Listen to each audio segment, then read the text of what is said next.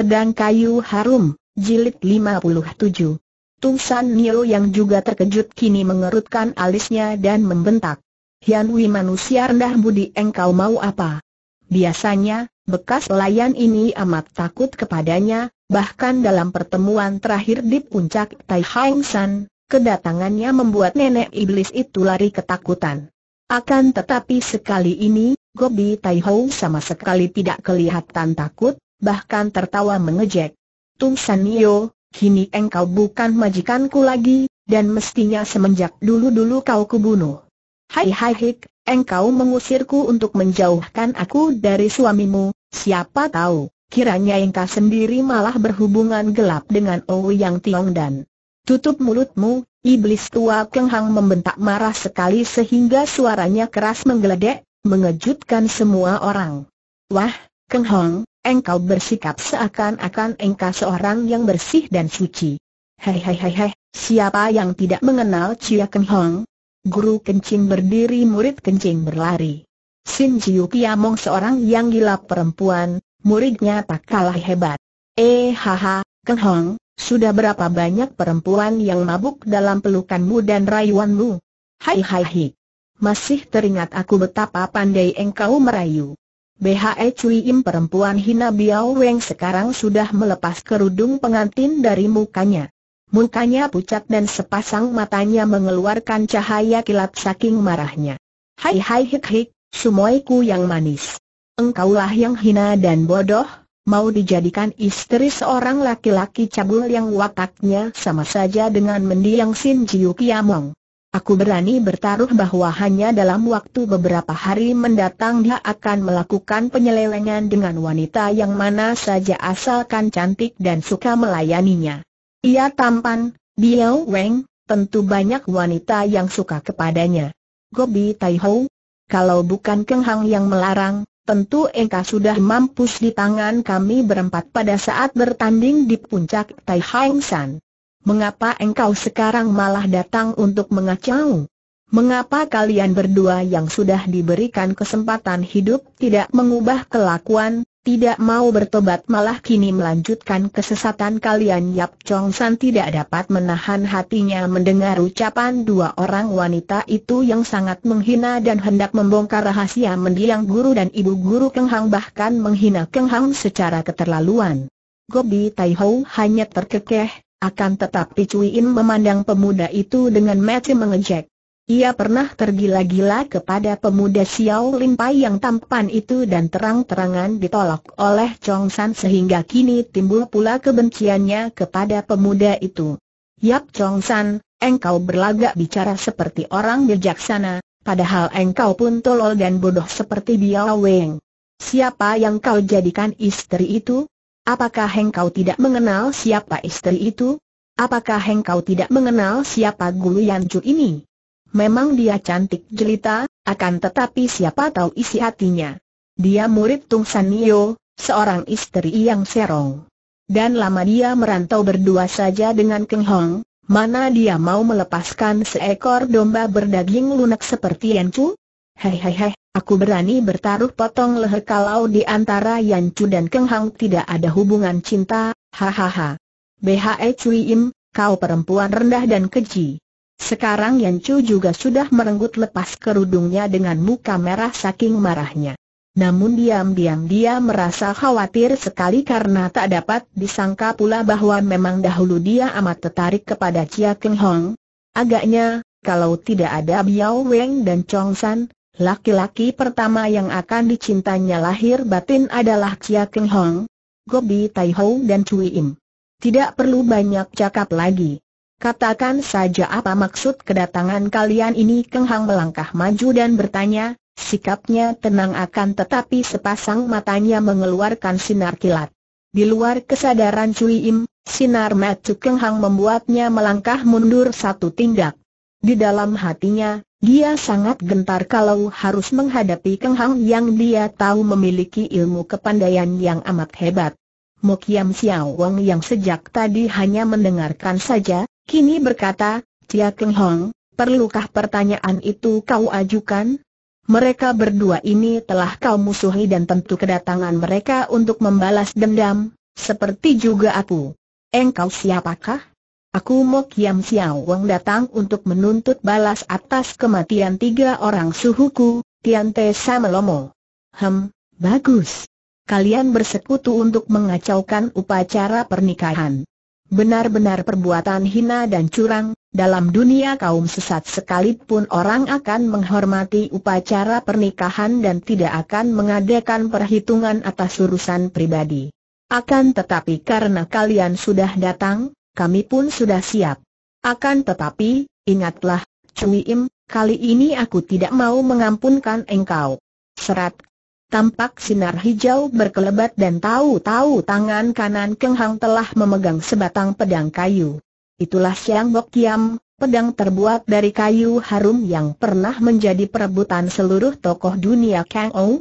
Melihat pedang ini, Kembali hati Cui In menjadi gentar sekali dan dia melirik ke arah Gobi Tai Ho sambil berbisik. Harap subuh hadapi keparat ini, biar Teocu menghadapi yang lain. Hai hai hik, Tia Keng Hong, kepandaianmu tak seberapa hebat akan tetapi lagamu seperti jagoan. Kau akan bisa berbuat apakah terhadap Gobi Tai Ho nenek ini melangkah maju menghadapi Keng Hong dengan kedua tangan kosong. Keng Hang maklum akan kelihayan nenek itu. Di puncak Tai Hang San dia dibantu oleh Biao Weng, Yan Chun dan Chong San, dan mereka berempat masih terdesak. Akan tetapi pada waktu itu, dia memang tidak menyerang atau melawan dengan sungguh-sungguh karena memang dia masih menghormati nenek yang pernah menjadi guru Biao Weng selama setahun lamanya itu dan tidak berniat untuk merobohkannya. Meskipun dia maklum bahwa dengan tangan kosong akan sangat sukar baginya untuk mengalahkan nenek sakti ini, namun Keng Hang yang berjiwa pendekar besar merasa segan menghadapi lawan bertangan kosong dengan senjata di tangannya.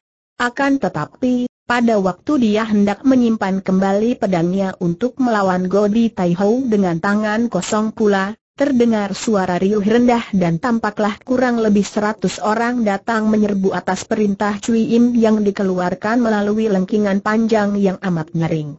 Itulah pasukan bantuan Mo Kiam Xiao Wong yang terdiri dari bajak sungai, dikepalai oleh tokoh-tokoh golongan sesat melihat serbuan ini, Keng Hang tidak menyimpan pedangnya kembali. Bahkan Biao Weng sudah melolos sabuk sutra putih, senjatanya yang sangat lihai. Chong San pun sudah mencabut sepasang senjatanya, yaitu Im Yang Pit, pensil yang berwarna hitam putih, sedangkan Gui Yan Chu pun sudah mencabut pedangnya. Para tamu yang memiliki ilmu kepandaian, sudah mencabut senjata masing-masing dan tanpa diminta mereka sudah menyambut datangnya para penyerbu yang ganas itu, adapun para tamu yang tidak memiliki kepandaian silat, sudah bubar berlarian dan berusaha menyelamatkan diri, akan tetapi ada beberapa orang di antara tamu ini sudah roboh oleh senjata para bajak yang menyerbu dengan perintah untuk mengacaukan dan membunuh siapa saja tanpa pandang bulu. Kasihan benar para tamu yang terdiri dari para petani pegunungan Chin Lingsan. Biarpun mereka berusaha menghindar, percuma saja mereka melawan keganasan para bajak sungai. Melihat hal ini, para tamu yang terdiri dari wakil-wakil partai serta tokoh-tokoh Kang Ou menjadi marah dan menyerbu para bajak. Terjadilah perang di tempat pesta pernikahan itu, perang kecil-kecilan yang hiruk pikuk dan kacau balau. Dan apalagi ketika para bajak yang banyak jumlahnya itu mulai membakar rumah Tung San Niu. Tempat yang disediakan untuk pesta perayaan pernikahan terbuat daripada bahan yang mudah terbakar karena memang dibangun secara darurat sehingga sebentar saja tempat itu menjadi lautan api. Mereka yang sedang bertanding terpaksa memindahkan kalangan pertandingan di luar, menjauhi api. Keng Hang yang biasanya tenang dan sabar, menjadi marah sekali. Dia meninggalkan Godi Tai Ho, tubuhnya berkelebat ke arah para bajak lalu mengamuklah pendekar ini bagaikan seekor naga yang marah. Sinar hijau pedang Siang Kia menjadi bergulung-gulung dan setiap orang anggota bajak yang terkena sambaran sinar ini roboh dan tewas seketika. Karena kemarahannya menyaksikan bajak-bajak membakar dan membunuh tamunya yang sama sekali tidak berdosa dan tidak memiliki kepandaian untuk membela diri, Keng Hang mengamuk dan meninggalkan Godi Tai Ho, lupa bahwa nenek itu dan Cui Im lah yang sesungguhnya merupakan dua orang yang paling berbahaya. Nenek Tung San Nio sudah menyambar pedang dan menerjang Go Di Tai Ho, dibantu muridnya, Yan Chu yang juga memegang pedang. Namun Go Di Tai Ho menyambut pengeroyokan guru dan murid ini sambil tertawa, tubuhnya membuat beberapa gerakan aneh, meliuk ke sana sini, kedua tangannya bergerak cepat, kadang-kadang mencakar, mendorong dan menangkis pedang dengan tangan kosong. Menyaksikan kehebatan Godi Ho, Tung San Nimar menjadi terkejut setengah mati. Dahulu pada waktu mudanya, bekas pelayan ini pernah menerima latihan ilmu silat, akan tetapi tentu saja masih jauh sekali di bawah tingkatannya. Siapa tahu, sesudah mereka menjadi seorang nenek, Sesudah diusir pergi, Oh Hian Wei telah menjadi seorang nenek iblis yang memiliki ilmu kesaktian sedemikian hebatnya. Biao Weng yang sangat membenci terhadap bekas sucinya, Cui In yang sudah banyak mendatangkan kesengsaraan kepadanya dan kepada Keng Hong, langsung menyerang dengan ganas, menggunakan sabuk sutranya yang bergerak seperti ular putih menotok jalan-jalan darah yang berbahaya secara cepat sekali. Namun Cui Im telah mengeluarkan pedangnya, sebatang pedang merah pula. Sebelum menyerbu, wanita ini telah berhasil menyuruh bikin sebatang pedang merah, terbuat dari baja merah yang meskipun keampuhannya tidak seperti pedang merahnya yang sudah patah oleh Keng Hang di puncak Tai Hang San, namun masih sangat lihat dan berbahaya karena selain ilmu pedangnya memang hebat sejak dia mempelajari kitab-kitab warisan Sin Jiu Kiamong, juga dia telah menaruh racun di mata pedangnya. Mengetahui kelihayan Cui Im, Chong San membantu Biao Weng, menggerakkan sepasang pitnya untuk menyerang lawan tangguh itu sehingga terjadilah pertandingan mati-matian yang amat hebat. Cui Im tertawa-tawa seperti Godi Tai Ho, memandang ringan dan ia malah masih dapat mengejek sambil menghalau senjata kedua orang lawannya dengan sinar pedang merahnya. Kalian orang-orang tolol. Biao Weng, engkau menyerahkan diri pada seorang lelaki yang cintanya palsu, seorang laki-laki batu keranjang yang tidak akan malu-malu melakukan hubungan kotor dengan ibunya sendiri. Dan kau, Chong San, hai hai hai hik, apakah kau kira istrimu itu belum ditiduri kemhong? Perempuan hina, tutup mulutmu Chong San marah sekali dan menubruk maju, Sepasang pitnya menyerang tenggorokan dan pusar secara berbareng dengan gerakan yang amat cepat dan kuat. Kring-kring Chong San terhuyung ke belakang oleh tangkisan Cui Im. Yap Chong San, kau pemuda tolol yang tak mau melihat kenyataan. Engkau mengenal siapa Keng Hong? Aku berani bertaruh bahwa istrimu itu bukan gadis lagi. Karena hanya Biao Weng ini satu-satunya gadis yang belum bisa dia dapatkan, maka dia memilih Biao Weng. Istrimu adalah bekasnya, hai hai hai. Cui Im, aku harus membunuhmu Biao Weng membentak marah sekali. Cui Im cepat meloncat ke kiri, menghindarkan serangan sabuk sutra putih yang sangat berbahaya itu. Sumoy, kau marah karena omonganku memang merupakan kenyataan? Hahaha, engkau tentu tahu siapa Keng Hong, akan tetapi karena cintamu engkau menjadi buta. Dan karena gobloknya maka Chong San ini pun menjadi buta. Wuut! Sabuk sutra putih menerjang ganas. Sepasang im yang pik di tangan Chong San juga ikut menerjang. Aih, berat. Biarpun Cui Im sudah menggerakkan pedang dan mengelak, tetap saja bajunya di dekat lambung terobek oleh pit hitam di tangan kanan Chong San. Baiklah, kalau kalian lebih suka mampus bentak Cui Im yang maklum bahwa ia sedang menghadapi dua lawan yang tangguh. Kalau mereka maju satu demi satu, tentu akan mudah ia akan merobohkan mereka. Akan tetapi, kalau kedua orang itu maju bersama mengeroyoknya, maka dia harus benar-benar mengerahkan seluruh tenaga dan mengeluarkan seluruh kepandaiannya untuk melawan. Kini Cui Im tidak bicara lagi karena harus memusatkan perhatiannya kepada kedua orang pengeroyok yang lihai itu.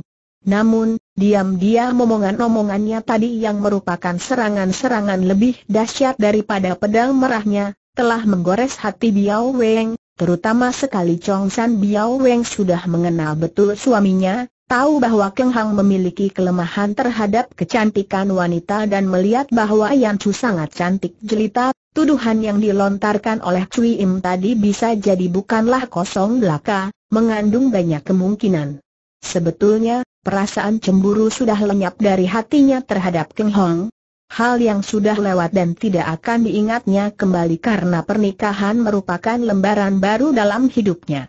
Apa yang sudah dilakukan Keng Hong di masa lampau, tidak akan dipedulikan, karena yang terpenting baginya adalah masa depan.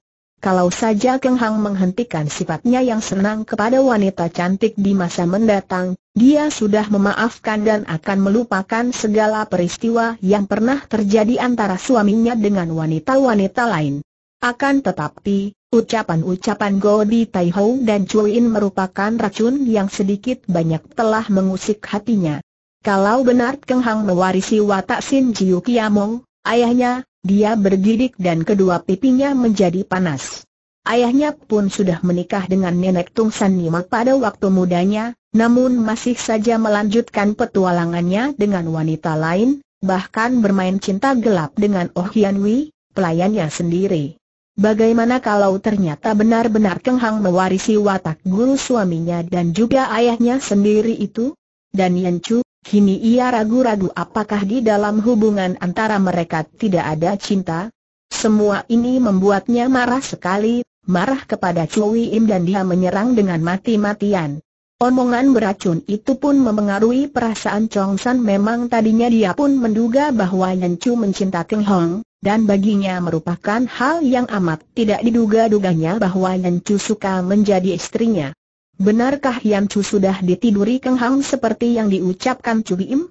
Dan hanya mau menerima dia karena tidak mempunyai harapan mempersuamikan Keng Hang yang sudah memilih Biao Weng? Benarkah, benarkah Yan Chu bukan gadis lagi? Walaupun dia sudah mengerahkan tenaga batinnya untuk menolak bisikan-bisikan yang mengganggu hatinya ini, namun tetap saja dia merasa tidak enak dan marah. Seperti juga Biao Weng, dia lalu menimpakan kemarahannya kepada Cui Im dan menyerang dengan sengit. Pertandingan antara Cui Im yang dikeroyok oleh Biao Weng dan Chong San ramai dan seimbang, tidak seperti pertandingan antara Gobi Tai Ho yang dikeroyok oleh Tung San Nio dan Yan Chu. Gobi Tai Ho terlampau sakti bagi guru dan murid ini, terutama sekali bagi Yan Chu.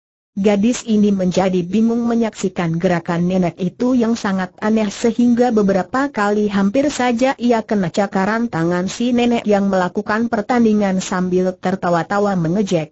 Ia dan gurunya terdesak hebat dan hanya dengan kerja sama yang erat dan saling melindungi saja mereka masih sanggup mempertahankan diri. Tiba-tiba terdengar bentakan nyaring, Gobi Tai Ho, Pin Cheng hendak bicara ternyata lima orang Hwasyo Xiao Limpai telah berada di situ menghadapi Godi Tai Ho yang meloncat mundur sambil terkekeh memandang rendah. Ketika para tokoh Kang Ho yang menjadi tamu tadi semua maju menyambut para bajak yang datang menyerbu, lima orang Hwasyo Xiao Limpai ini tetap tidak bergerak, bahkan sehabis mendengar omongan Godi Tai Ho mereka lalu saling berbisik dengan wajah sungguh-sungguh. Sesudah bersepakat, Kini mereka menghampiri nenek itu dan menghentikan pertandingan yang sedang ramai-ramainya. Mereka adalah murid-murid ketua Xiao Limpai, dan walaupun dalam hal ilmu silat, tingkat mereka masih lebih rendah dari Ap Chong San, akan tetapi Chong San masih terhitung sebagai sute mereka. Usia mereka rata-rata sudah 50 tahun lebih dan mereka memiliki kedudukan yang cukup tinggi di Xiao Limpai. Hihihe, Hwasyo Hwasyo Xiao Limpai menghentikan pertempuran. Kalian mau bicara apakah? Kalau kalian mau mengeroyok, mengapa pakai banyak cakap? Majulah Gobi Tai Hui menantang. Tian Li Hwasyo, yang tertua di antara mereka, menggelengkan kepalanya, Omi Tohut, kami adalah orang-orang beragama yang pantang berkelahi, apalagi membunuh. Akan tetapi, kami pun hamba-hamba yang mengabdi kebenaran yang siap mempertaruhkan nyawa demi kebenaran. Gobi Tai Ho, engkau tadi telah mengucapkan kata-kata yang amat menghina suhu kami, Tiong Tek Kos yang ketua Xiao Limpai. Pinceng hanya minta agar engkau suka menarik kembali kebohongan yang menghina itu, kalau tidak, terpaksa Pinceng berlima mengorbankan nyawa demi membela kebersihan nama suhu dan Xiao Limpai. Hai hai hai hik hik. kalian ini gundul-gundul yang tolol, tidak mengenal guru dan ketua sendiri. Siapa membohong? Gurumu itu, si tua bangka gundul Tiong Pek Siang yang sekarang kelihatannya seperti orang suci bersih, dahulu pada waktu mudanya bernama Ouyang Tiong dan dialah orangnya yang berjinah dengan istri Sin Jiu Kiamong.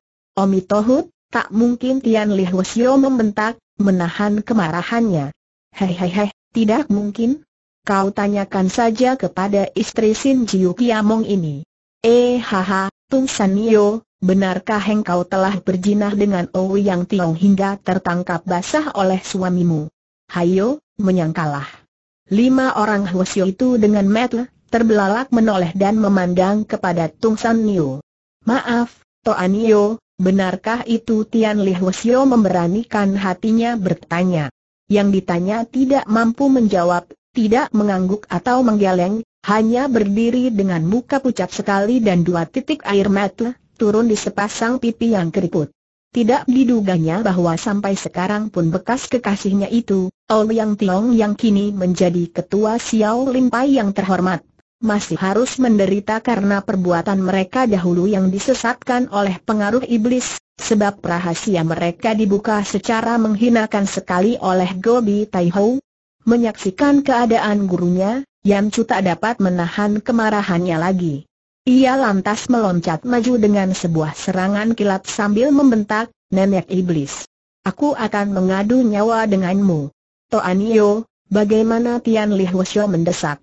Urusan itu amat penting baginya, bagi para saudaranya, bagi seluruh anggota Xiao Limpai, sebab menyangkut nama baik ketuanya yang berarti menyangkut kehormatan Xiao Limpai sendiri.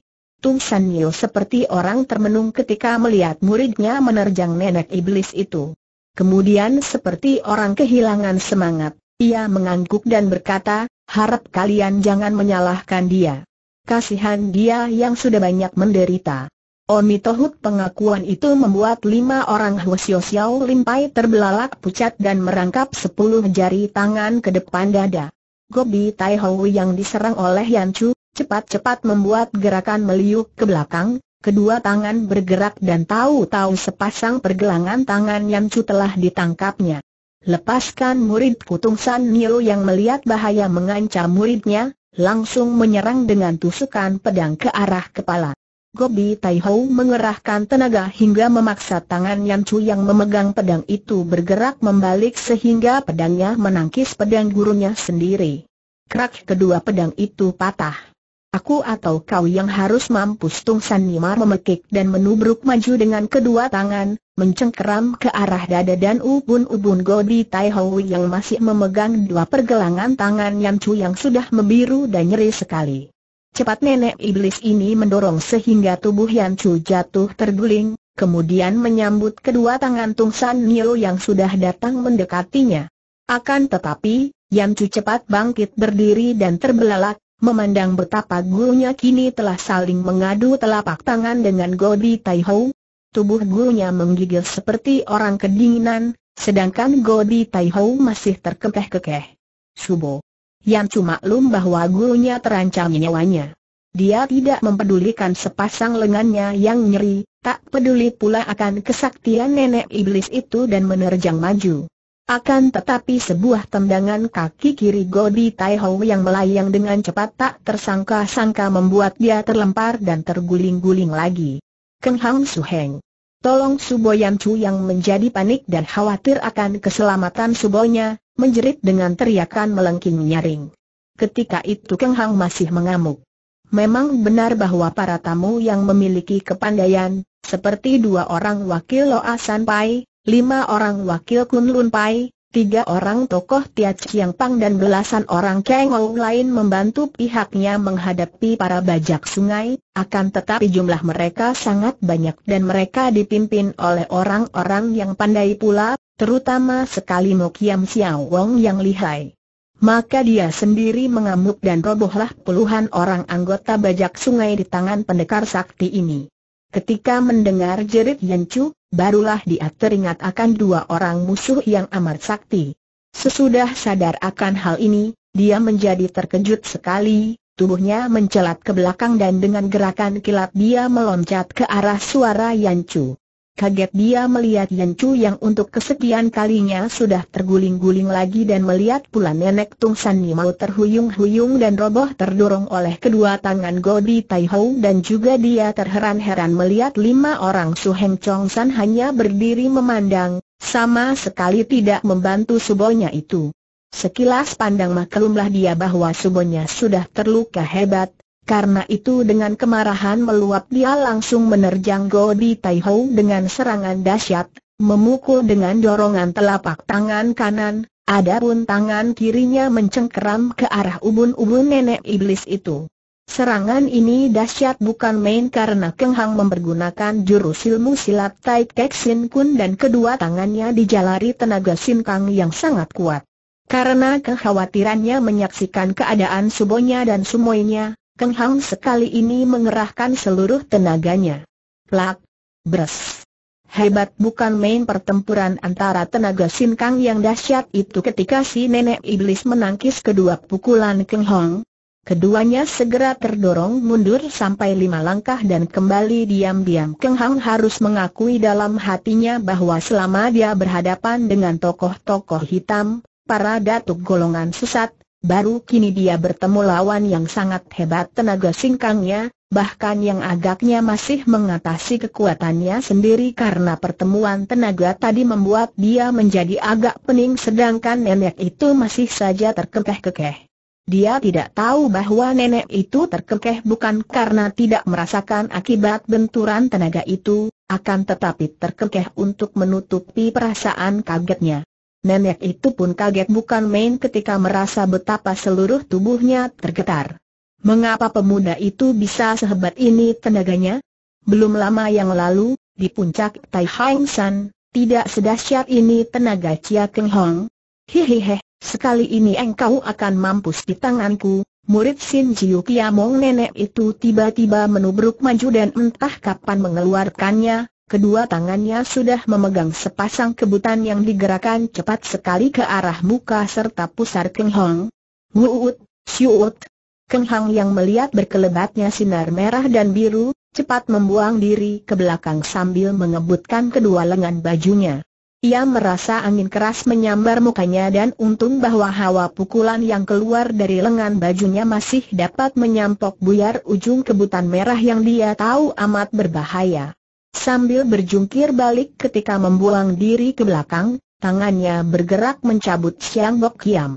Karena gentar menghadapi tenaga Sin Kang Keng Hang setelah benturan tangan pertama tadi, Gobi Tai Ho mencabut keluar senjatanya, sepasang kebutan yang sebenarnya hampir tak pernah dia keluarkan apabila dia menghadapi lawan. Dan hal ini merupakan kesalahannya.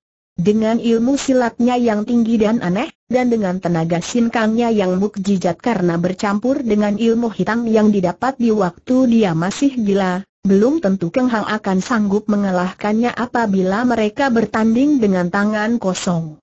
Akan tetapi sekali pemuda sakti itu sudah mencabut pedang Siang Bok Kiam dan memutar senjata itu, Terkejutlah Gobi Tai Ho karena sinar hijau bergulung-gulung dan mengeluarkan suara berdesing melengking itu benar-benar merupakan Kiam Sut yang amat luar biasa dan bagi dia jauh lebih berbahaya daripada menghadapi lawan ini dalam pertandingan tangan kosong.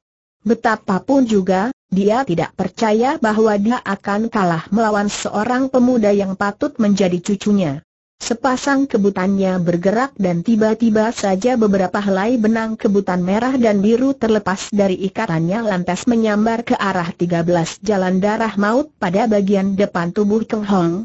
Benang-benang kebutan ini merupakan senjata rahasia yang sangat berbahaya karena di samping dilepaskan dari jarak amat dekat selagi mereka bertanding, juga benang-benang itu karena dilepas dengan dorongan tenaga sinkang yang mukjizat, menjadi kaku laksana jarum-jarum panjang. Terkejut juga Keng Hang menyaksikan sinar-sinar berkelebatan menyerangnya ini. Akan tetapi dengan sikap tenang dia memutar pedangnya untuk melindungi tubuhnya sehingga benang-benang itu runtuh menjadi potongan-potongan halus akibat beberapa kali terbabat pedang, kemudian dia melanjutkan gerakan pedangnya dan memainkan ilmu pedang Siang Bok Kiam Sut yang dia warisi dari suhunya, Sin Jiu Kiamong. Gobi Tai Ho menjadi kagum bukan main. Setajam-tajamnya sebatang pedang kayu, tentu tak setajam pedang logam, akan tetapi nyatanya pedang kayu itu dapat membabat benang-benang kebutannya yang melayang itu sampai menjadi potongan-potongan halus membuktikan betapa ampuh pedang itu dan betapa dahsyat tenaga sinkang tangan yang memegangnya. Kini nenek itu tidak berani memandang rendah lagi dan berhentilah suara tawanya. Ia menyerang dengan pengerahan tenaga dan kepandaian sekuatnya sehingga terjadilah pertandingan hebat yang membuat pandang mata para penonton menjadi kabur. Setelah tadi terkena tendangan dua kali oleh Gobi Tai Ho, Gui Yanchu tidak terluka hebat, akan tetapi tendangan kedua yang mengenai bawah pusar membuat tubuh bagian itu terasa nyeri. Dia sudah bangkit kembali dan ketika melihat bahwa Keng Hang sudah melayani Gobi Tai Ho, dia pun tidak berani membantu karena maklum bahwa tingkat kepandaiannya masih jauh di bawah tingkat mereka.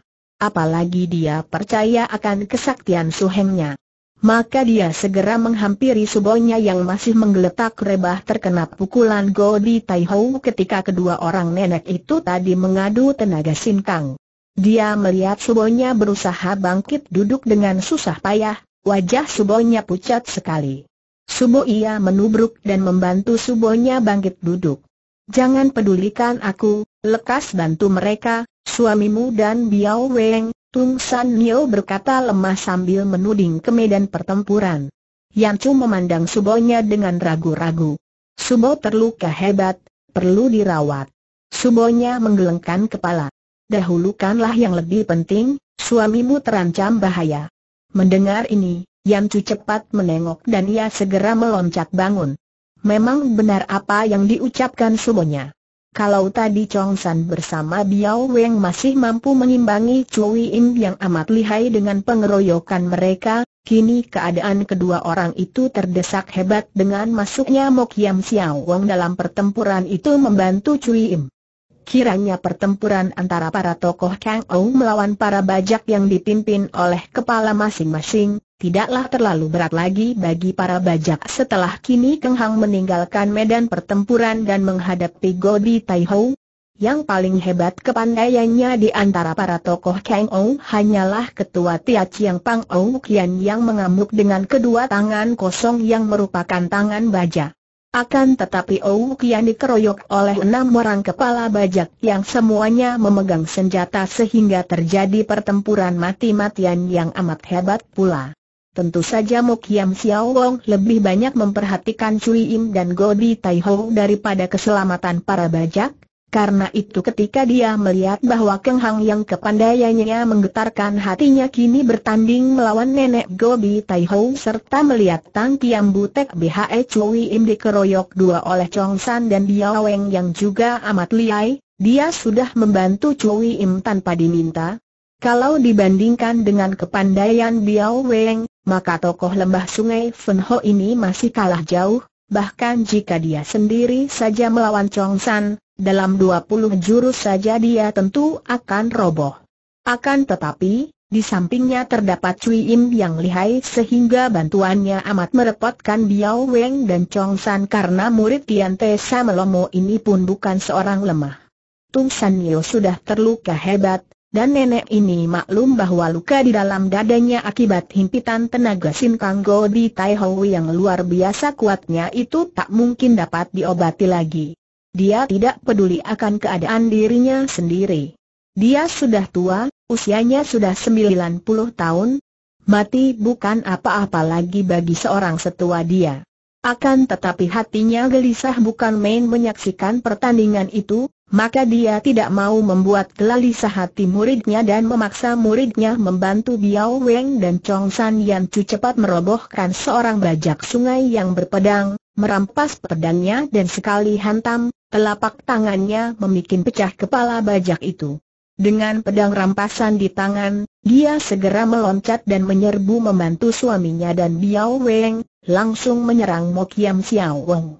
Perang Mo Kiam Xiao Wong menangkis dan terkejutlah dia karena pedangnya hampir terpental dari tangannya sedangkan sinar pedang darah yang cantik jelita, kedua pipinya merah dan matanya bersinar-sinar saking merahnya itu telah menyambar lagi ke arah lehernya. Hayaa dia membuang diri ke belakang sampai suaranya berdebuk dan terus dia bergulingan menjauhkan diri. Yan Chu segera mengejar, membacok bertubi-tubi sampai tiga kali. Akan tetapi Mo Kiam Xiao Wong bukanlah orang yang lemah, sambil bergulingan dia dapat menangkis tiga kali bacokan itu. Terang-terang-terang, Sinki. Dalam gulingan keempat, pedangnya menyambar ke arah kaki Yanchu. Terpaksa gadis ini melompat mundur dan kesempatan ini dipergunakan oleh Mo Kiam Xiao Wong untuk meloncat berdiri dengan keringat dingin membasahi seluruh tubuhnya. Yanchu merasa penasaran sekali. Kiranya teman Cui Im ini pun seorang yang memiliki kepandaian tinggi. Dia melirik ke arah Biao Weng dan suaminya dan hatinya lega karena setelah kini ditinggalkan Mo Kiam Xiao Wong, kedua orang itu mampu mengimbangi lagi permainan pedang merah Cui Im sungguh pun tidak dapat dikatakan bahwa mereka itu mendesaknya. Cui Im terlalu lihai dan Yan Chu yang sudah mendengar dari Keng Hang maklum bahwa sesudah mewarisi pula kitab-kitab pelajaran ilmu silat tinggi peninggalan Sin Jiu Kiamong, kepandaian Cui Im tidak jauh di bawah Keng Hang sendiri. Chong San Koko, Enci Biao Weng, hati-hatilah menghadapi siluman itu. Biarlah aku yang membasmi anjing busuk ini katanya. Kembali ia menerjang secara ganas, pedangnya menusuk perut Mo Kiam Xiao Wong yang sudah bersiap-siap dan menangkis sambil balas menyerang. Tung San Nio duduk bersila dan napasnya terasa sesak bukan main, akan tetapi ia masih mencurahkan seluruh perhatiannya kepada jalannya pertempuran. Para bajak yang kini ditinggalkan Mo Kiam Xiao Wong, menjadi kacau balau dan kehilangan semangat tidak kuat menghadapi tokoh Kang Ou yang tadinya menjadi tamu dan kini membantu pihak tuan rumah. Keng Hang masih bertanding dengan seru melawan Godi Tai Ho dan karena gerakan mereka amat cepat sedangkan gerakan Godi Tai Ho anehnya luar biasa, sulit baginya untuk dapat mengikuti dan menentukan siapa di antara mereka yang akan menang. Akan tetapi hatinya merasa khawatir sekali melihat betapa Biao Weng dan Chong San agaknya kewalahan menahan serangan-serangan hebat dari Cui Im, sedangkan semuanya dapat mendesak Mo Kiam Xiao Wong. Ia kemudian menoleh ke arah lima orang Hwasyo Xiao Limpai yang masih berdiri seperti arca, agaknya tenggelam ke dalam lamunan masing-masing. Go Wei Suhu dari Xiao Limpai, Apakah tidak malu berpeluk tangan saja menyaksikan orang-orang jahat mengacau Tung San Nimar memaksa diri berkata. Lima orang Hwasyo itu menoleh dan tampak Tian Li Hwasyo menarik napas panjang, Omo Tohut, Pinceng sendiri tidak tahu mana itu orang baik dan mana orang jahat. Setelah apa yang Pinceng dengar tadi, ah, Tian Li Hwasyo. Sudah kuakui akan kesesatanku di waktu muda dengan ketua kalian, akan tetapi itu adalah urusan dulu. Sekarang yang penting, kalian melihat sute kalian Yap Chong San terancam oleh wanita iblis Sang Kiam Butek yang dahulu pernah membunuh susu kalian Tian Ti Hwasyo. Apakah kalian kini hanya akan berpangku tangan saja dan menyaksikan sute kalian dibunuh juga? Ataukah kalian mempergunakan alasan pantang berkelahi untuk menyembunyikan rasa takut kalian terhadap Pang Kiam Butek? Wajah lima orang Hwasyo itu menjadi merah dan Tian Li Hwasyo berkata, apa yang dilakukan oleh Suhu memang telah lewat puluhan tahun lamanya, dan sekarang ditambah lagi dengan pernikahan Yap Sute dengan seorang gadis dari keluarga yang sudah banyak melakukan penyelewengan. Omi Tohut, kalau dunia Kang Ou mendengar akan semua ini, habislah nama baik Siu Limbai biarpun berkata demikian, Hwasyo itu memberi isyarat kepada empat orang sutenya dan mereka pun melangkah lebar mendekati tempat pertandingan antara Chong San dan Biao Weng yang mengeroyok Cui Im. Melihat ini, Tung San Nio yang tadi mengerahkan seluruh tenaga untuk dapat bicara dan membakar hati para Hwasyo Xiao Limpai itu, menarik napas lega, akan tetapi wajahnya memperlihatkan rasa nyeri yang ditahan-tahannya dan ia memejamkan kedua matanya. Pertandingan antara Keng Hang melawan Godi Tai Ho sudah berjalan 100 jurus lebih, makin lama makin seru dan gerakan kedua orang ini benar-benar dahsyat. Kalau Keng Hang bertempur dengan tenang dan hati-hati karena maklum akan kelihayan nenek itu, Gobi Tai Hou menjadi marah-marah dan penasaran sekali. Masakah dengan sepasang kebutannya dia tidak mampu mengalahkan seorang pemuda seperti ini? Bahkan mendesak pun dia tidak dapat dan sudah beberapa kali hampir saja ia disambar pedang Siang Bok yang amat berbahaya itu. Dia mengeluarkan bunyi seperti gerakan seekor binatang buas, kemudian menubruk maju dengan gerakan aneh, kebutan kanan menyambar ke arah leher Keng Hang sedangkan yang kiri meluncur kaku seakan-akan bulu kebutan lemas itu kini berubah menjadi baja, menusuk ke arah pusar lawan. Keng Hang yang merasa khawatir akan keselamatan istrinya, semuanya, dan Chong San yang menghadapi Cui Im karena dia maklum bahwa tingkat kepandaian iblis betina yang juga semuanya amat tinggi, jauh lebih tinggi daripada tingkat Biao Weng dan lain-lain, mengambil keputusan untuk cepat-cepat merobohkan nenek yang lihai ini. Agaknya kalau hanya mengandalkan pedang dan ilmu silatnya saja, akan amat sukarlah baginya untuk merobohkan lawan yang selain lihai juga jauh lebih berpengalaman daripada dia itu. Di samping ilmu-ilmunya yang tinggi dan dahsyat, Keng Hang mempunyai semacam ilmu yang disebut di KHI Beng, mencuri hawa memindahkan nyawa, Ilmu penyedot sinkang lawan yang tadinya timbul di dalam tubuhnya di luar kesadarannya sejak dia menerima pemindahan sinkang dari tubuh gurunya, Sin Jiu Kiamong. Akan tetapi, setelah dia dapat menemukan kitab-kitab peninggalan suhunya dan juga mempelajari ilmu sakti Tai Kek Sin Kun yang ditemukannya pula di dalam tempat rahasia suhunya, dia sekarang berhasil menguasai ilmu itu sepenuhnya dan dapat mempergunakannya jika perlu. Dahulu dia banyak mengakibatkan robohnya orang-orang sakti di dunia Kang Ou dengan ilmu penyedot sinkang ini, akan tetapi hal ini terjadi di luar kehendaknya dan dia tidak tahu bagaimana cara menghentikan bekerjanya ilmu mukjizat ini. Sekarang, ilmu yang sudah dikuasainya ini dapat dia pergunakan dan hentikan sesuka hatinya. Keng Hang merasa ngeri kalau mengingat akan pengalamannya dahulu, betapa banyak orang roboh dan binasa sebagai korban ilmunya yang mukjizat dan tidak diakuasai hingga merupakan ilmu yang liar dan yang timbul sewaktu-waktu di luar kehendaknya. Karena itu tadinya dia mengambil keputusan untuk tidak lagi menggunakan ilmu yang dianggapnya terlalu keji ini untuk menghadapi lawan, kalau tidak amat terpaksa. Kini, menghadapi Godi Tai Hoi yang betul-betul amat liai, dia mengambil keputusan untuk menggunakan Tika Hi Beng supaya dia dapat merobohkan si nenek iblis kemudian cepat-cepat membantu istri dan teman-temannya mengalahkan Cui Im, apalagi karena dia tahu bahwa subonya, nenek Tung San Yo, sudah menderita luka dalam yang amat berbahaya. Keng Hang sedikit memperlambat gerakannya, memberi kesempatan kepada sepasang kebutan nenek itu menyambar dekat, Kemudian dia segera mengangkat lengan kiri untuk menangkis kebutan yang menyambar leher, memindahkan langkah kaki untuk mengelak dari kebutan yang menyambar ke pusarnya dan Siang Bok Kiam sudah berkelebat cepat menyambar ke arah pergelangan tangan Godi Tai Hui yang sebelah kanan. Nenek itu terkejut sekali melihat sinar hijau berkelebat ke arah tangannya. Jika saja yang diserang itu bagian tubuh lain, tentu dia sudah siap untuk mengelak ataupun menangkis.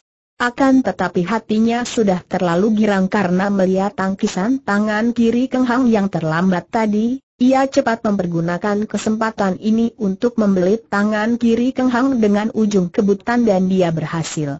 Hal ini membuatnya agak lengah dan baru ia terkejut bukan main setelah Siang Bok Kiam menyambar dekat. Krok! Kebutan itu jatuh ke atas tanah karena gagangnya terbabat putus oleh Siang Bok Kiam nenek itu ternyata lihai bukan main. Sambaran pedang yang tiba-tiba datangnya itu masih dapat ia hindari dengan tarikan lengan cepat sekali sehingga pedang itu bukan membabat lengannya, melainkan gagang kebutan, dekat sekali dengan jari tangan yang memegang gagang.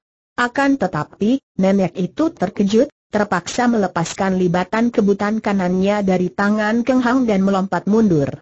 Keng Hang merasa pergelangan tangan kirinya perih dan ternyata kulitnya lecet-lecet bekas lilitan ujung kebutan itu. Gobi Tai Hou yang merasa kaget menjadi marah sekali.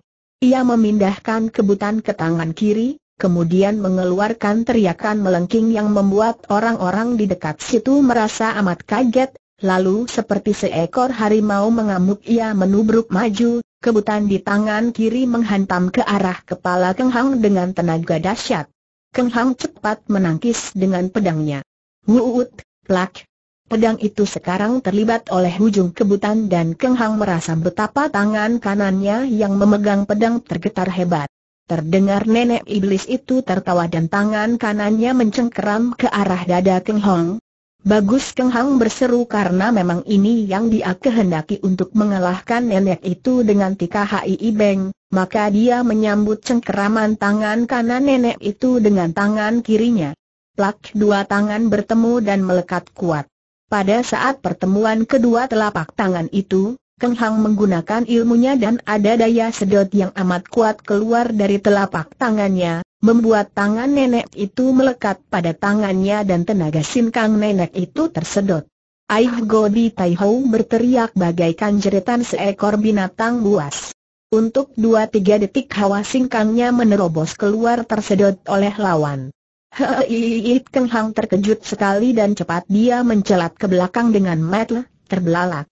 Tadinya memang dia merasa berhasil menyedot sinkang nenek itu.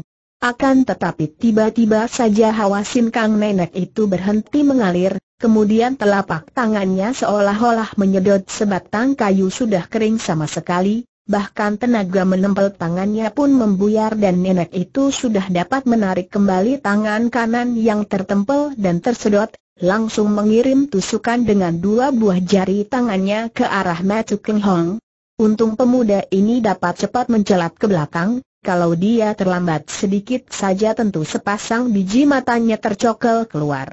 Sementara itu, lima orang Hwasyo Xiao Limpai tanpa banyak cakap lagi telah menerjang ke depan dan mengeroyok Cui Im.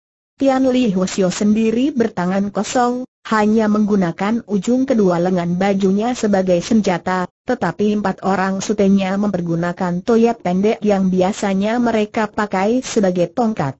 Meskipun tingkat kepandaian lima orang Hwasyo ini tidak ada artinya bagi Cui Im karena masih lebih rendah daripada tingkat kepandaian Gui Yanchu, akan tetapi pengeroyokan mereka ini membuat dia yang sudah terdesak oleh Biao Weng dan Chong San, menjadi makin repot menghindarkan diri dari hujan serangan. Yan Chu mempercepat gerakan pedangnya, mendesak Mok Yam Xiao Wong yang sudah tak mampu balas menyerang. Kering-kering, augh!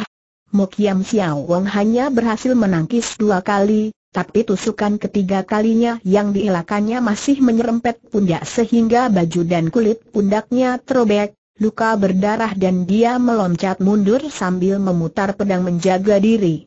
Gobi Tai Ho memandang Keng Hang dengan mata terbelalak. Ia bergidik mengingat daya sedot yang keluar dari telapak tangan pemuda itu dan diam-diam merasa gentar karena maklum bahwa kalau dilanjutkan melawan pemuda ini, akhirnya dia akan kalah. Ia lalu menoleh dan melihat betapa Cui Im juga terdesak hebat, dikeroyok oleh Biao Weng, Chong San dan lima orang Hwasyo Xiao Limpai, Bahkan Mo Kiam Xiao Wang agaknya sudah terluka dan Yan Chu sudah bersiap membantu pengeroyokan atas diri Cui Im. Nenek itu tiba-tiba melengking nyaring dan dari kebutannya menyambar sinar-sinar kecil ke arah Keng Hong. Itulah bulu-bulu kebutan yang hampir separuhnya dari seluruh bulu kebutan itu meluncur bagaikan jarum-jarum panjang menyerang Keng Hong. Pemuda ini sudah maklum akan kelihayan si nenek iblis dan betapa bahayanya bulu-bulu itu, maka cepat pedangnya berkelebat membentuk gulungan sinar dan meruntuhkan semua senjata rahasia itu.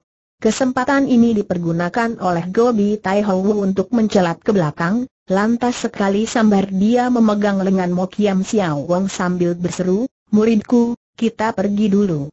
Cui Ing yang sudah terdesak hebat itu tertawa. Segera pedangnya berputar cepat sekali, membuat para pengeroyoknya menangkis dan mundur. Ia lalu meloncat ke belakang dan tangannya terayun. Berhamburanlah jarum-jarum merah ke arah para pengeroyok. Tentu saja para pengeroyok yang terdiri dari orang-orang pandai itu dapat menghindarkan diri dari jarum-jarum ini, bahkan Biaweng yang maklum bahwa sekali terlepas akan sukar melepas bekas sucinya, sudah melepaskan senjata-senjata rahasianya yang tidak kalah hebatnya daripada jarum-jarum merah cuim, yaitu bola-bola kecil putih berduri dan sebatang tusuk kondi bunga bree. Terdengar suara berdencingan nyaring dan ternyata semua senjata rahasia itu runtuh disambar kebutan Godi Tai Hui yang memberi kesempatan kepada Cui Im untuk lari lebih dulu. Sekarang para pengeroyok Cui Im menerjang nenek itu, akan tetapi dengan memutar kebutan, nenek itu bisa menghalau semua pengeroyok kemudian sekali melesat dia telah meloncat jauh sambil menarik tubuh Mokiam Xiao Wong.